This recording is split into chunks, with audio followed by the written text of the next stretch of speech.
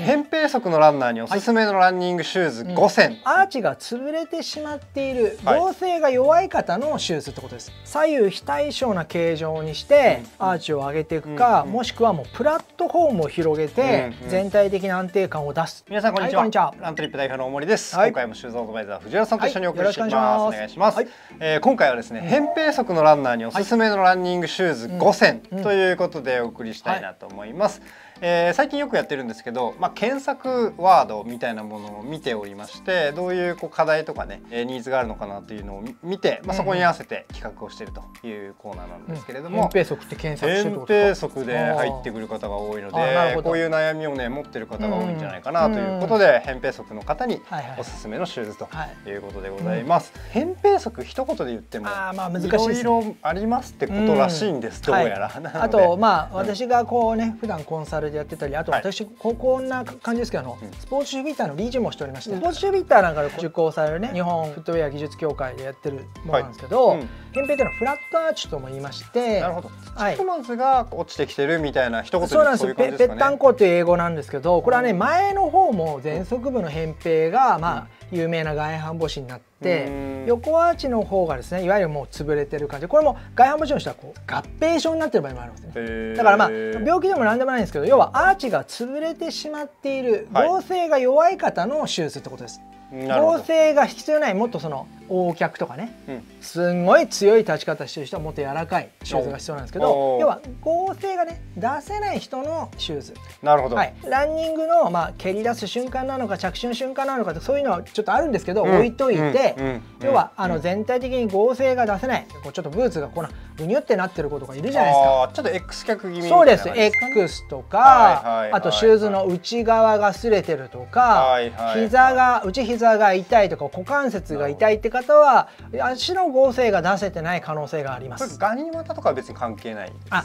つま先をね開くのも大森さんやっぱり人間がこう安定感を出すために開いてってるんですよ。ああ、なるほど。だから右側だけ足開いてる方とかもいらっしゃるんですけど、もちろんだからガニ股になるとまあ潰れやすいです。だから潰れないようにしてるんですよ。合成を出して。こうやってると潰れちゃうし、まあだから人間の体っていうのはその体の癖、まあ先天的後天的にやっぱ癖を持ちやすいんですけど、それが我々ランニングしてるわけじゃないですか。そうですね。立っていて癖があって走っていくってジャンプしなきゃいけないんで本当でね、まあ、あのフラットアーチの方はよりそのストレスがかかりやすい。なるほど。着地時に強い足が作れない可能性があるので強い足を作ってくれるシリーズを設けました。なるほど、はい、いやありがとうございます。はい、なので扁平足解消法いろいろありますが、はい、今回はその対策として一つシューズという観点で着目して、ご紹介したい、ね、ただこの上に乗っかってますからね。本当ですよ、ね、かなりのあの解決策になると思います。そういうことですね、はい、なので一般的に土踏まずがあまあ潰れてるっていうことなので内側に倒れやすい。そうなんです。それをサポートするっていう観点で、うん、えー、オーバープロネーション向けシューズがいいのでは、ね、というご紹介を、うん、基本的にね。はい、はい、してまいります。その5足。はい5足。5足紹介しますね、はい、えー、こちらからいきます。こちらアシックスの GT2012 12はい。ですえー、そしてこちらあ6のこちらもゲルカヤの31ですね。はい、そしてこちらが他のアラヒ7ですね。えー、そしてこちらがサッカニーのガイド17ガイドはいガイドです。そしてこちらプーマですね。プーマのフォーエバーランニトロでございます。はい、ここは有名ですけどね。もうスタビリティシューズの代表、GT2000 の。アラヒとか、ガイドとかあれライドって言ってなかったみたいな。ガイド、ライドとガイドなんですよ。いますからね。はい。プーマもはどっちかというとフォーエバーランの方がなんか人気ですけど、まあでもほら、ベロシティニトロとかね、ある中で何なんだこれって思ってるかもしれませんけど、やっぱりですね、プーマはかなり凝った作りになってこれですね、メタターサルって言ってですね、ここメタ、はいインソールの内側を盛り上げてですね、横アーチをこのアーチも少し横と縦とある。そうなんですここ、うん、外側アーチと内側のね内側の縦アーチと横アーチがあるんですけど、うん。うん、この辺にですねパッドがこう入るイメージなんですなるほど。アーチをね作る。かなりねすごいわかりやすい。シューズメーカーで売ってるものとしては大胆ですこれあのインソール作ったりとか、はい、理学療法士とかそういう方がこう入れてくれるパッドがあるんですよ、はいはいはい、それも最初からやんわりつけてる、かなり踏み込んだ作りでもちろん内側がこう盛り上がってる感じになってまして、はい、基本的にあの言い方なんですけどもこっち側に傾いて作ってますもうほぼね。だからこう内側に入りやすい人がもうちょっとこういう形状なんだけど、もうこうなりやすい方なんで、強くこういうふうにフラットにさせてフラットにすると人間の体っていうのは骨の配列、うん、力が入りやすいポジションになりますので、ね、やっぱり最終的には自分の力で立ってほしいのでポジションに持っていってくれるインプットがあるというシューズになります。プーマのフォーエバーランニトロは非常にそういう意味ではあのかなり踏み込んだ、ね、はい、カヤノと同じぐらい踏み込んでる感じです。パワーテープも内側メインにこんな感じでつけてて、面白いですよ。なんか入れ墨みたいですもんね、パワーテープね。ここまで来ちゃでもこれ計算してるんでしょうね。ね。うん、もちろんカウンターが入っているヒールカップなので、あの硬いんですけど、下にエクスターナルって外付けのカップも入ってまして、うんうん、超頑丈、支えに来てる感じがします、ね。ね、そうなんです。こういうのが合成を出すシューズなんですね。プラットフォームも広い。ね。もう本当ですね合成を出すには、今お話ししたように左右非対称な形状にして、アーチを上げていくか、もしくはもうプラットフォームを広げて、全体的な安定感を出すってことが、まあ、医学医学的にもこの方法が必要なんですけど、昨今シューズが軽くできるようになりましたね。このフォーエバーランニトロみたいなシューズが出るわけです。そうですよ。広いっすよね。広さかかとも広いですね。ラントリップアプリで走るとマイルがたまる。たまったマイルはラントリップストアのクーポンと交換できるラントリップでお得なランニングライフを。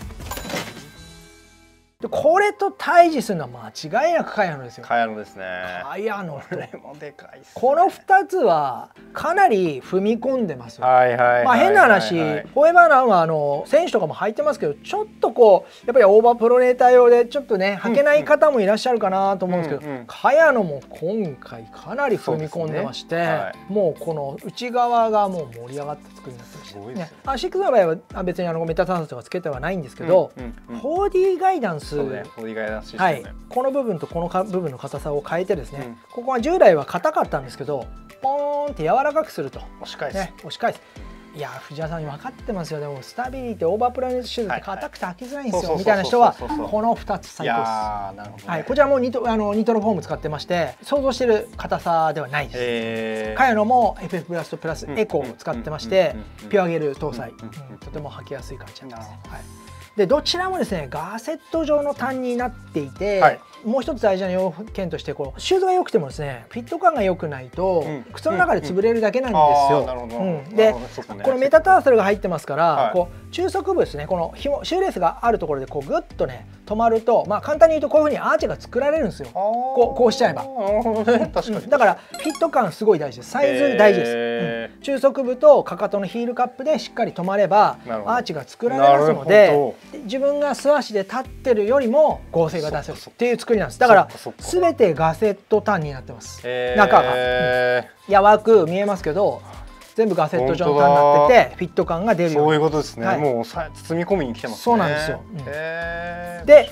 この後がライドって感じですかね。ライド。はあの、はい、控えめな感じですけど、はい、かなり内側効いてこれロッカーが効いてる感じの、えっと、6ミドロップなんで、はい、もうこうロッカーが効く感じなんですけど、うんうん、やっぱりですねライドとガイドでは全然違ってあの内側を抑える作りになってます。で最後、この GT2000 とアラヒは、まあ、もちろんスタビリティトレーナーでオーバープロネート対策してるんですけど、えー、もうちょっとマイルドにいろんな人が履けるようになってます。ナチュラルな、はい、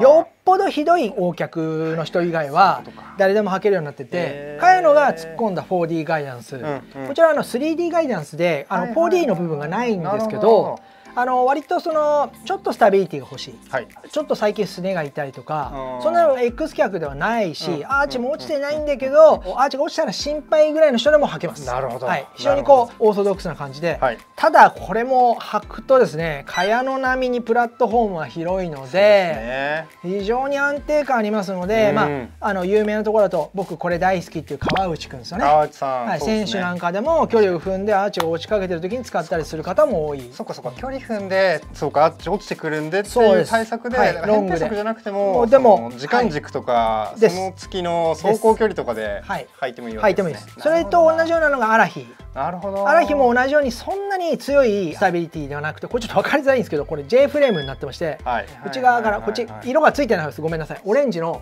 ここからこういうふうに素材が硬くなってるんですけど、うん、あの内側に倒れないようには細工してるんですが、はい、ホカさんも新しいブランドなので基本的にはロッカーを効かせて横にこう入るのを抑えようとランニング時はねしてますので、はい、だからもう割とどなたも使えます、えー、ちょっとしっかりめが欲しい方はそういうことですね、うん、なんかウルトラとかロングを走る方にとってもいいわけですよね。別に自分扁平足じゃないなと思いつつも、はい、後半そう落ちてくるっていうことも考えると。で全ての商品に言えるんですけど、はい、今ちょっとこの辺きつめですよなんて言いましたけど、うん、まあ別にそうじゃない方も歩いてる時には大森さんさっき言ってましたけどその、まあ、アーチが落ちてしまうケースもありますのでなるほど。あの歩いてる時なんかは僕これ結構茅野とかも結構鉄板で履いてます。いや、うん、なるほど、はい、なんでまあこういったケアもね、はい、みんながみんなこれになるかっていうのはちょっと分かんないし実際そうでもないんですけど、うんうん、ぜひこういうところに着眼すると自分に合ったシューズが選べるってこともありえます。すね、はいぜひ注目してください。ぜひ注目していただきたいですね、すごい勉強になりました、特にアラヒなんか埋もれてる名品ですかなるほどね、ちなみにアラヒと GT2000 あたりはねラントリップストアでも取り扱いそうでしたか、はい、おっしゃいました。おっしゃいました、はい、でもアラヒ本当におすすめ。チェックしてみてください。